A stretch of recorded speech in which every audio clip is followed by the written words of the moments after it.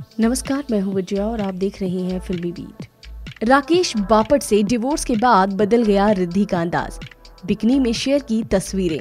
आइए आपको बताते हैं रिद्धि डोगरा की ये latest news. TV actress Riddhi Dogra husband Rakesh Bapat से सेपरेशन के बाद जमकर हॉलिडे एंजॉय करती नज़र आ रही हैं।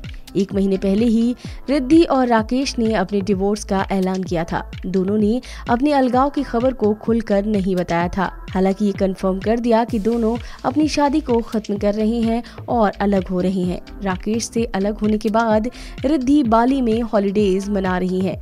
सोशल मीडिया पर उन्होंने बिकनी में तस्वीरें शेयर की हैं। पिंक कलर की बिकनी में रिद्धि काफ़ी हॉट नज़र आ रही हैं। राकेश बापट से अलगाव के बाद रिद्धि डोगरा अपना बोल्ड लुक सोशल मीडिया पर शेयर कर रही हैं। कुछ दिन पहले भी वो हॉलीडेज पर गई थी और सोशल मीडिया पर उनकी पिक्चर्स खूब वायरल हुई थी राकेश आने वाले दिनों में शिल्पा शिंदे के साथ एक मराठी फ़िल्म में काम करने जा रही है वही रिद्धि डोगरा भी अपने करियर पर फोकस करना चाहती है तलाक के बाद राकेश रिद्धि दोस्त बनकर ज़रूर रहेंगे, क्यूँकी दोनों आपसी सहमति से अलग हुए हैं।